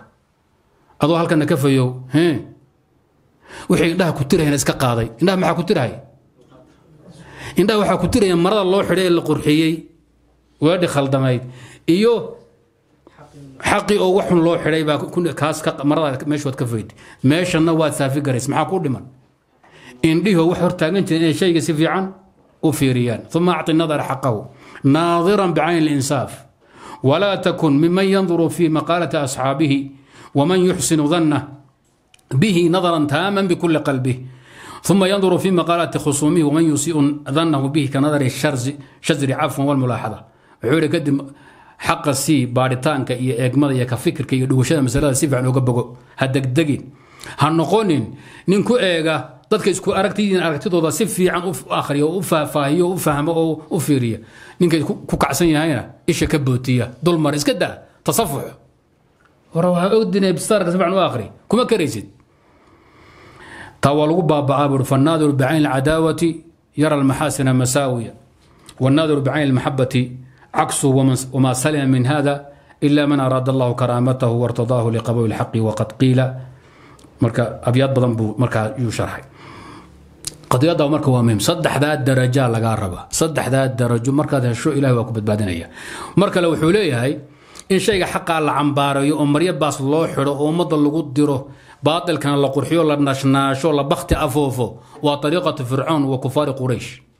Wuxuu uhi wa ashadu maa xaawala acdaau rasuuli min atanfiiri canhu suu tacbiir cama jaa bih waa qaacido muhiima nebi maxamed xaquu la yimid. Calayhi salaatu wasalaam shayga ugu adkaa ee ugu daraa ummadda ay kaga fiijiyeen xaqana ay ku baabiiyeen baatilna ay ugu heeliyeen kuna hor istaageen ummadda wuxuu ahaa suu tacbiir canhu. In laga bixiyo sharxid iyo qeexid khaldan baa laga dhiibaya. Maxamed muxuu yufariqu bayna almar'i wa abiihi bayna azawjati wa zawjiha. Waa dumiye waa kala tuure kala xooro wey kii odaygii yidhi cimraan xuseen aabiha khusaaci nabi maxamed oo awga baa kaa fiicnaa. Meeshuu ka fiiriya eeg ose iga fiicnaa? Awga cabdulmuطalib wuxuu ihi quraysh kaana yuطcimuhu lkabida wasinaan wasanaam cafwan. Wuxuu siin jiray buui awowga quraysh duqaydeeda kurs iyo beer buu ka dharjin jiray. Wa anta tanxarum naxran adna waad gowracaysaa. Ayaga baad weydaysan buuri wax ka daran nabigu muxuu ka dhigay bahal dad cun ah wuxuu badbaadin aan jirin. Duqaydina wuxuu ka dhigay. Niman gobi ay ku dhammaatay. Wax ooga danan shayga xaqa ah in loo xidho. Marabaas. Loo bixiyo. Magac liito oo ba'an ma jiro. Shayga xaqa ah marabaas in loo xidho. Magac ba'anna loo bixiyo wax ooga daran ma jiro. Iska ilaaliya. Waxay kaloo sameeyeen wadarbu alamhaali alqabiixati lahu. Tusaale khaldan baa laga bixinaya. Oo kuwii shalna lahaa waxay dhe oo kale wey ninkii ii sheeg haddii maqaalat alxaazim wa somaali ummadda lagu waxeeyo daacishna lagu kabo isha kii khaliifi warkiisa lagu maxamed muslimin ka soo hadhayda wey marka hawsha aad iskaga ilaaliya wuxuu ihi wahada shanu kulu mubطilin وكل من يكيد الحق وأهله هذه طريقته ومسلكه وأكثر العقول كما عهدت تقبل القول بعبارة وترد بعينه بعبارة أخرى hadda haddaad tidhaahdo man lam yukafir ka fahuwa kaafir. Ninka somalia yar fahmaa laga yaabaa. Qaacida waa la yaqaanaa. Ood kadib ka niqaashtaan ah, muntasibiinta ma soo mise maya laakiin haddaad takfiiru lcaadir korba u boodahaya. Takfiiru lcaadir korba u boodi. Wuxuu yidhi dadka biniaadanka badankooda caqligooda waxaan ku aqaanaa. Shay inay aqbalaan marka qaab loogu dhigo. Asiga qudhigiisana ay diidaan marka qaabka loogu dhigo waxa khaldaya marka waa maxay? Wuxuu raacaya adi goor cibaaraadka iyo weedhaha nafsa shay anigii maal igu misaal haddii hooyada waa dhays waad xanaaqi waa xaamilana waa iska caadi. Ma tamise maaha hooyada waa dhays way rimantahay haddii lagu yidhahdo burkaad la boodi. Hooyada waa xaamil ama uur bay leedahayna waxba arki maysid. Laakiin waa isku macno soo maaha cibaaradan baa kala xun. Wadaadkii muxuu yidhi muxuu ahaa mutarabi miyuu ahaa mise nin kale hada taquulu hada janiyu naxli tamdaxuhu wain tashaa qulta daa qayu zanaabiiri madxan wadaman wamaa jaawasta wasfahumaa walxaqu qad yactarihi suu tacbiir. Shinnada malabkeeda mar waad caay waxaad dhihi kartaa waa dhuug dhuug xaarkii baad dhihi. Ilaa shinnidii dhuug way isku egyimin waa dhuug matagii baad dhihi xaarkii. Marna waxaad dhihi waa shinni malabkeed waana hal shay. Yacni qaabkii la doonaa xaqa lagugu foolxumayn baadilkana sidii doona lagu waxayeysiin waxaa loo furtay idaacadaha adduunka loo samaystay warbaahinta loo samaystay qodobka i raaca waxaa ixsaanu dani bilmuslimiin. Waa shay min addiini ha lagu dadaalo. Dadka muslimiinta malaha loo wanaajiyo. Tuhmada beenta iyo xadgudubka iyo urugta iyo maashaha la ilaaliyo muslimiinta malaha u wanaajiya kuna dadaala carabkiina bara alxifda wasatr carabkiina inu dhowrsanaado dadku usan ku xadgudbin edab yeesho bara niyada sameeya qalbi wanaagsan ummadda kula dhaqma ilaa axadkii aad ku aragtaan xumaan mooye. Laysa almumin biacaani walaa bilacaan wala alfaaxish waad garanaysa salafku saddex bay ka soo reebeen.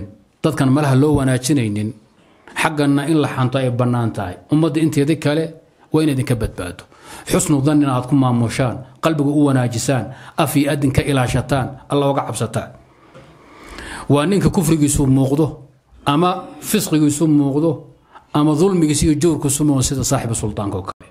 Alimaam athawri wuxuu odhan jiray almuslimuuna kullum cindana calaa xaalatin xasana. Muslimiintoo dhan way noo wanaagsan yihiin.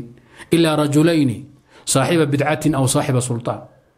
Laba un baan noo wanaagsanayn oo niyaxun u haynaynaa nin saaxiiba bidca ama nin la saaxiibay suldaan jaairo daalim ah u nacableeyo hoos boodaaya hadda jaairbaagaalay maraysa.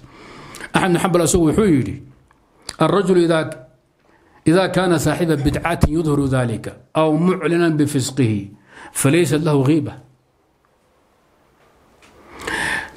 ninku hadduu bidco muujisanayo ama fisqigiisu mujaahir yahay uusan musatir ahayn bini aadamku waa khaldamaaye. Nin wixiisa qarsanayo iyo nin banaanka soo dhigtay kala almujaahiruun baa loo yaqaana nimanka la badheedha xumaantooda la badheedha kuwa ayaga xataa in la xanto xan ma aha falaysat lahum ghiiba. Isxaaq muraawi wuxuu laysat lahum xurma. Waxaa la weydiiyey ahlulbidca ma la xaman karaa. Markaasuu laysat lahum xurma. Xurma mala maxaa yeele markay iyagu xurma iska qaadeen oo sunnadii garab mareen oo ilaahay ku gacaansaydheen bay sharaftoodu dumiyeen cabdiraxmaan ibni adiina wuxuu odhan jiray isago ama udayna. Waxaan ka soo gaadhay culummada yadii iyagoo yidhaahda alaaatun laa xurmata lahum walaa ghiiba. Saddex xurmo ma laha xanna ma laho xantoodu dembi ma aha. Hee alwaali aalim alwaali aalim aljaa'ir madaxweyne iyo gobernatore iyo amiir aalim oo jaa'ir ah. Midka labaad waalfaasiqu lmuclinu bifisqihi iyo nin fisqigiisi bannaanka dhigtoo la bedheeraya sida qolyaha fanaaniinto kale kuwa khamrada caba kuwa ribada kuwa cawradooda qaawiye heesa ama burambura ama niikiya baktigaas wa saaxib albidca. Wa saaxib albidca. Saddexda. Waa dariiqatu salaf alwaali alظaalim aljaa'ir kuwa waxaad arka dad xasan gurgurta ka hadasho uni ilaah ka xamanin haddii caamo isu keeni maysaa farmaajo tacliiqin mawaalanta wadaado afkaada edab u isu keeni maysaa salafkuna sidan ay ku leeyihiin. Oo niman gaalnimo aan ku haysano y waxaad leedihiin wadaad waa xamanin hawshaasi aad aad iskaga ilaaliya. Nuquul badan oo salafka ku saabsan qadiyadaas ayli intaasaan kaga soo gaabsanaya almuhim ixsaanu dhanni bilmuslimiin iyo in lagu daa carabkoo la ilaaliyo la dhowro waa as diineedaha lagu dadaala is ilaaliyaa. Dadkaa laga soo reebayna dembi ay geleen awgii baa looga soo reebay. Waxaad kaloo iska jirtaan xasadkii xiqdiga fil muslimiina cumuuman.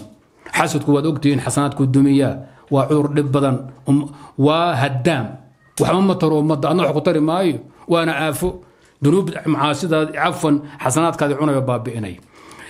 Xasadka marka iyo xiqdiga fil muslim cumar iska ilaaliya wa fii baynikum waa ka sii daranya xerta iyo dalabada iyo culummada ugu daranee iska ilaaliya bal wadaaduhu iyo xertu iyo macalimiintu iyo ardadu waa dadka ugu xasad badan adduunka. Marka cudurkaa inuu kugu jiro ku hayo aada isu tayo isfiiri iska warqab. Sufyaan athor wuxuu odhan jiray aniga nafsaydiiyo dhiiggayga culumaan oga cabsan buuri. Caamada iyo bulshada iyo xataa nimanka boqorada waxba yeeli maayaan waxa idili doona. Waa wadaad buu odhan jiray. Maa akhaafu calaa diini ila alquraa walfuqahaa. Diintayda waxa khatarta ku ah waa culumo iyo quraa qur'aanka yaqaan. Maa ana qultuhu qaalo ibraahim annakhaci buuri anu ma dhihin buu ii taabicigii sheekha noo ahaa baa yidhi oo ahaa ibraahim annakhaci mar kale wuxuu yihi maa akhaafu calaa dami ila alfuqahaa walquraa. Dhiiggayga waxaan oga cabsanayaa ogama cabso cidaan ka ahayn. Culummada iyo kuwa qur'aanka yaqaan. Soomaaliya way yaqaan waxay dhaheen qiilu ku banaysa iyo qulucu ku ritaba asagaa iska leh islaam baa xayn ari ari baa ka fakadaan layd markaas ilaahu arigayga xere islaan gee oo xere wadaad hayga geynin bay jir. Ari baa ka fakaday way raadis way raadis way ku soo bixi wada gabalkii baa dhacay.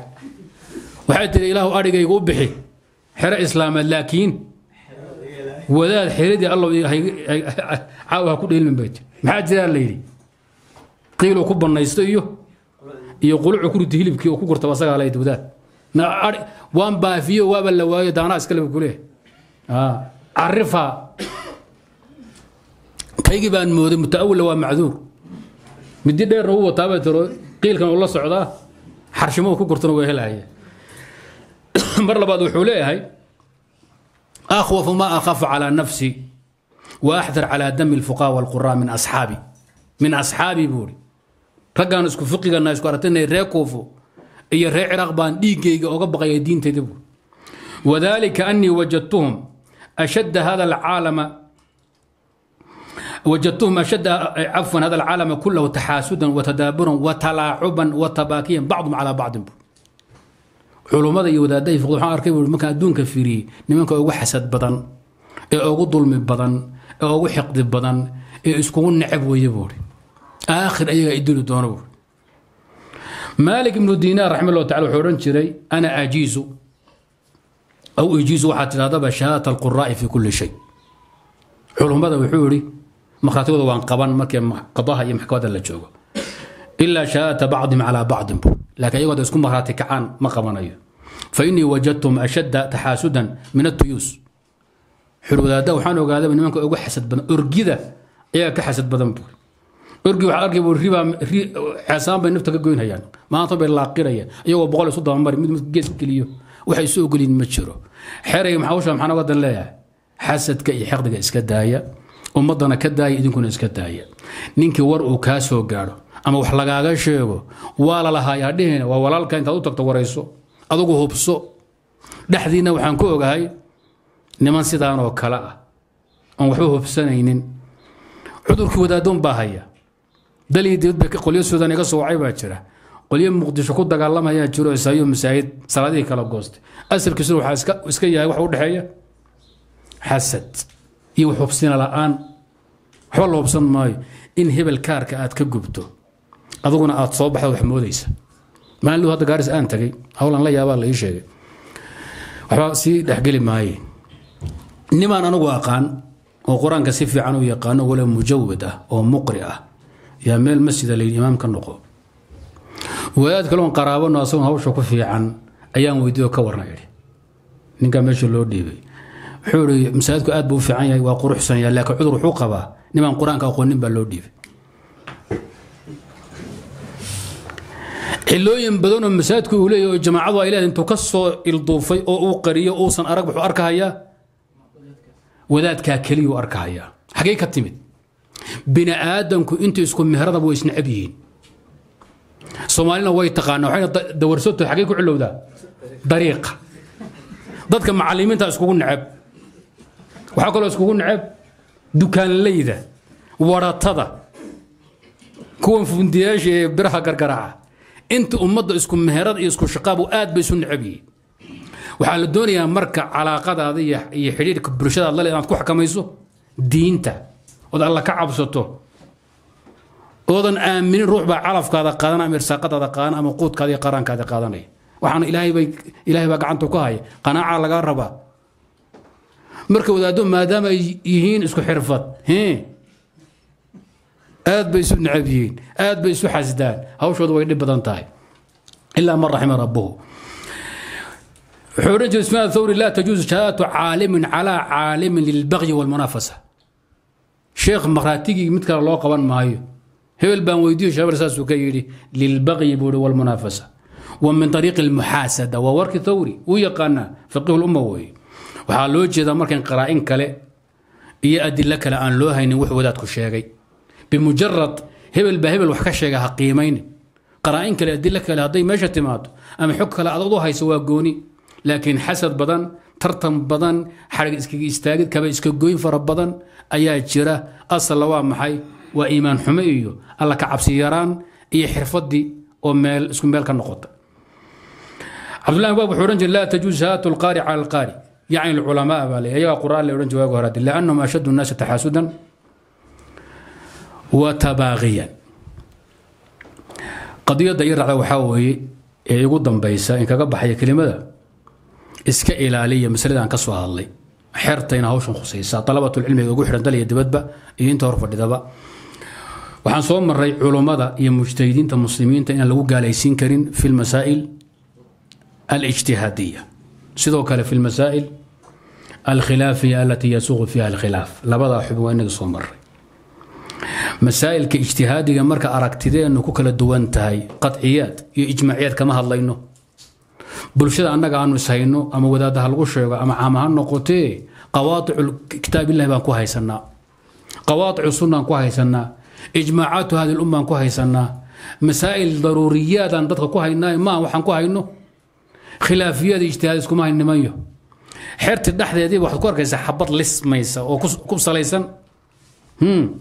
Masaa'il ijtihaadiyaad oo khilaafiyaad adugu sibaad u aragtaana sibaan u arkaa takfiir inay gaadhaan laga yaaba mararka qaarkood ay gaadho aad iskaga ilaaliya qadiyadda waa khatar wuxuu yidhi abu cabdillahi almaaziri markuu masalada ka hadlaya masale lamid a walqaطcu في موضع التزويج غلط وجهالة والقطع في موضع التجويز غلط وجهالة إن المسألة قيس أو بركو قيس وسدا آت تدادو أيضا ماشي احتمال علوس كفران هاي وقف يا wadaadihii sharxaya muslim oo dhan baa hadalkiisa soo qaatay. Wasiir wuxuu yihi famanasyaati fi ddiin diinta wax lagu kordhiya waxaa ka mid a an yurfaca almadnuunu fi lcaqliyaati aw sharciyaati ilaa martabati almacluum wahada xaraamun bilijmac diinta wax lagu soo kordhiya waxaa ka mid a shay danni ah ama ijtihaadi ama khilaafi oo saa'iq ah inaad geyso darajadii addaruuriyaad walqadciyaad aad geyso. Waana xaaraan buuri midda ayada rafcigaasi iyo kor dalacsiintaasi بالإجماع وإنما يختلف الناس في الاجتهاديات عفوا في التفطن لأسبابه waxaa lagu kala tagaa buri keliya fahamka la fahma shaygan madnuun baa mise waa qaطci yaa lagu kala tagay mooye laakiin inay ziyadadaas ay baatil tahay xaraamna tahay bilijmac maxaan uga digayaa ra'yigaada ra'yi khilaafsan oo ijtihaada in wax lagu gaalaysiiyo dadkan lagu dilo dhigoodin lagu banaysto ama lagu xadgu waa min madhab alkhawaarij khawaarij madhabkeedu waxaad ku taqaanaan keliya atakfiru bidunuubi walmacaasi. Bacdu salaf waxay geliyeen ra'yiga ijtihaadiga inaad wax ku gaalayso laftiisu waa maxay? Waa min madhab alkhawaarij walazaariqa. Alimaam maymuun mihraan attaabici yaa ardaygiisa jacfar murqaan baa wuxuu yidhi khawaarij ma lagu daba tukan karaa.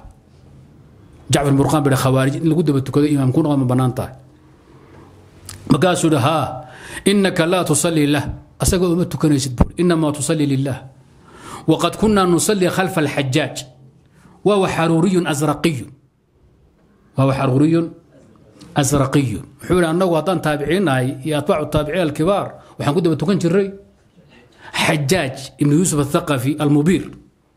Wuxuuna ahaa buri xaruuri asraqi wala asraqa nimanka ugu khariban bay ahaayeen wuxuu yidhi jacfar furqaan sheekhi baan fiiriyey inaan fiiray ma arkay. Wuxuu yidhi maxaad ila yaabanta fanadartu ilayhi faqaala atadri ma alxaruuriyu lasraqiy maxaad iga eegi buuri miyaa taqaana horta khaarij ninka la yidhaahdo ama xaruuri asraqi ma taqaanaa huwa aladii idaa khalafta ra'yahu samaaka kaafiran wastaxalla damak wa kaana alxajaaju kadalika buuri ma rabta xaruuriha asraqihaa waa ninka markaad ra'yigiisa khilaafta ma aad diin baad khilaaftay ra'yi asagu u arkay qiimayn oo asagu masaladan saaray oon daliil culus lahayn oo qaci ah ayuu hadaad khilaafto wuxuu le kaafir baa tahay dhiiggan uu banaysanaya xajaajna sidaasuu ahaa waa runtii. Xajaaj. Hadduu ku dhaho albaabka ka kaaya keena ood soo wareegto xagga ku istaga ku dili gaal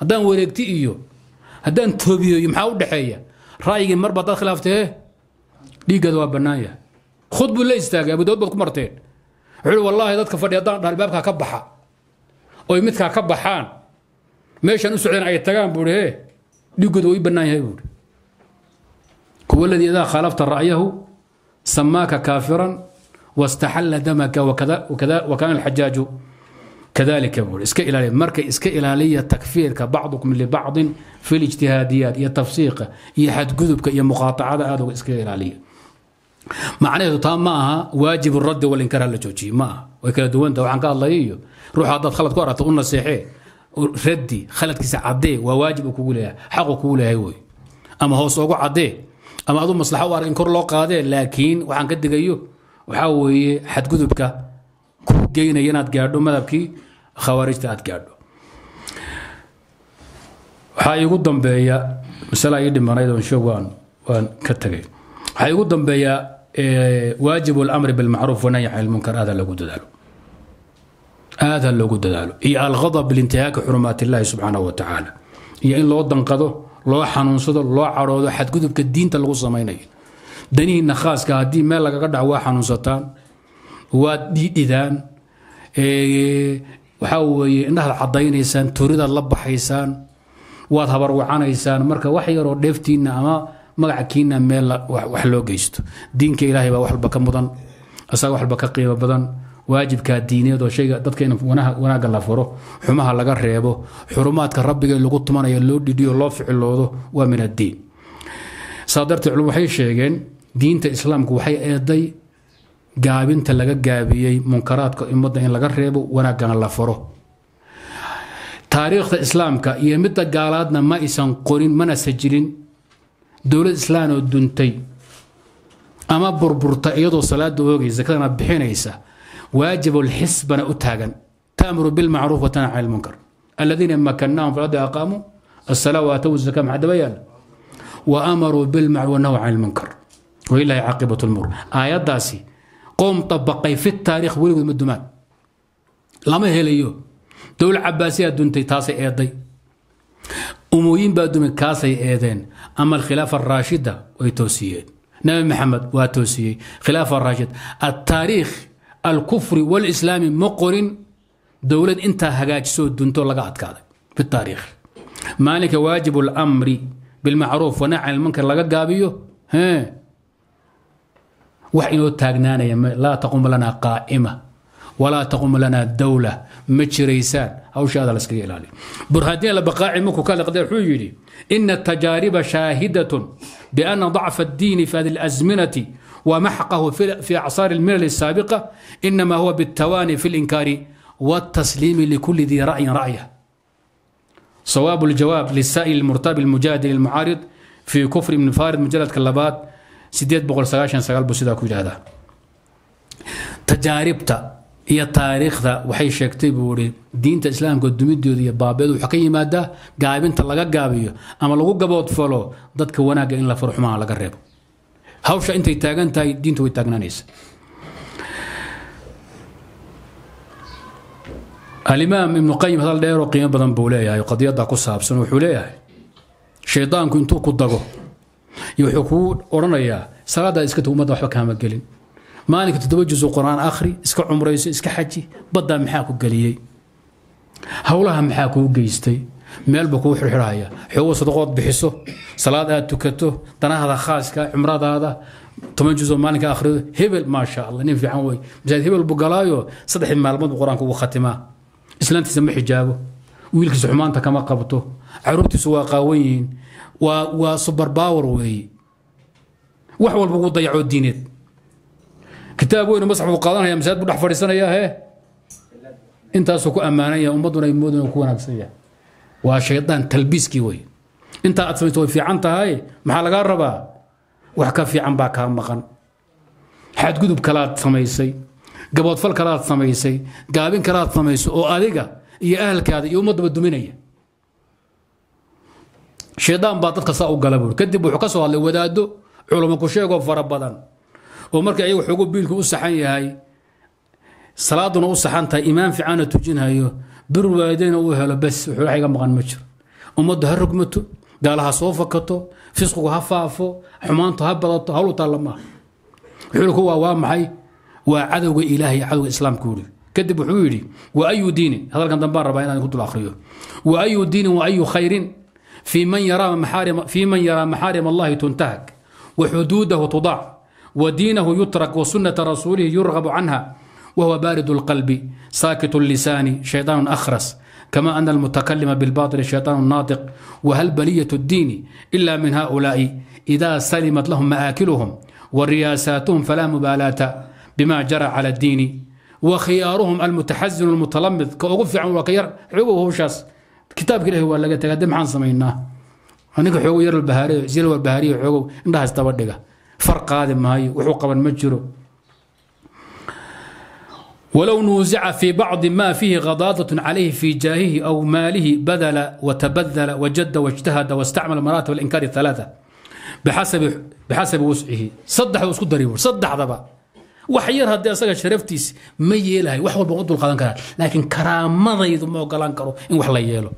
Oo karaamada diinta awe oo tii alla awe oo tii rasuulka awe oo tii ummadda awe hebel wax kale ka soo gsho laakiin sharaftayadu meel kaga dhacaya. Walow nuusica fii bacdi maa fiihi adaadatun fii bacdi maa fiihi khadaadatun caleyh fii jaahihi aw maalihi.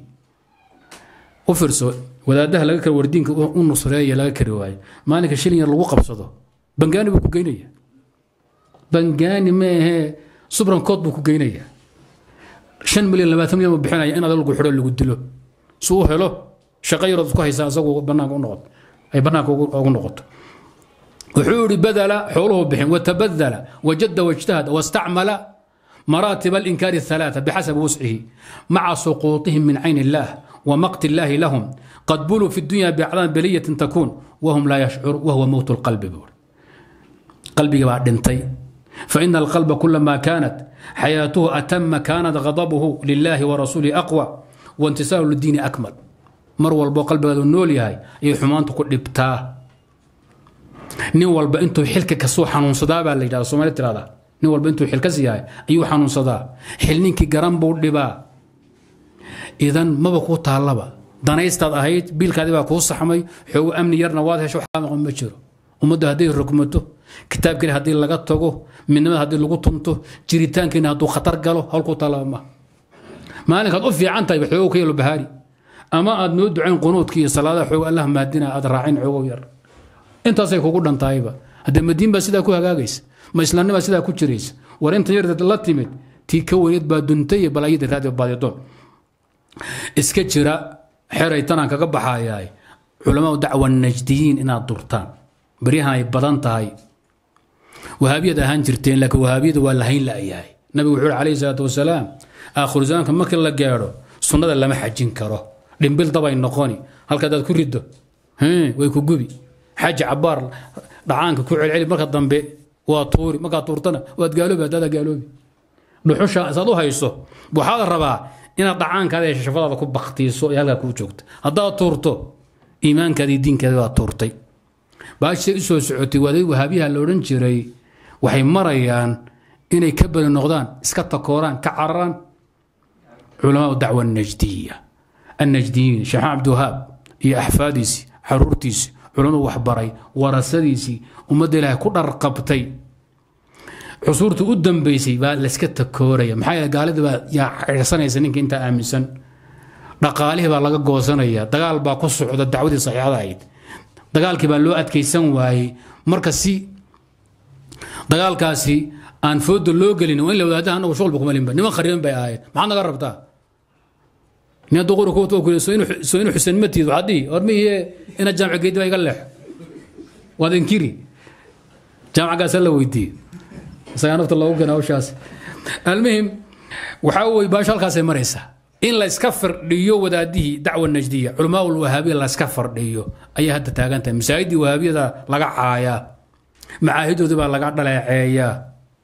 dibad baa laga durayaa. Aima dacwa najdiya afar shay ba la yimaadeen afartaasi ninka ku khilaafana muslima ma aha. Wax kaloo la yimaadeen miyaa jira? Afar shay oo diinteenna ka mid a oo duugoda bay cusboonayso boor ka jafeen. Tajdiid bay la yimaadeen. Wax cusub lamaysan imaanin. Dayactirid naashnaashid dib u noolayn ixyaa sunan bay la yimaadeen. Masalada kood maxay ahayd? In xaqiiqa towxiid la caddeeyo towxiid muxuu yahay? Islaam muxuu yahay iimaan muxuu yahay diin maxay tahay bay caddeeyeen wax kutubtooda ka akhriya fiiriya.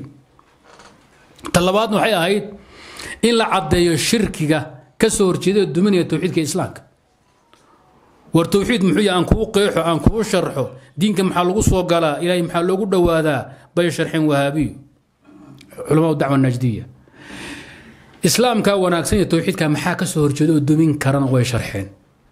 Waa masalada labaad. Tii saddexaad waxay dhaheen ninka uu towxiidka fahma shirkigana garta.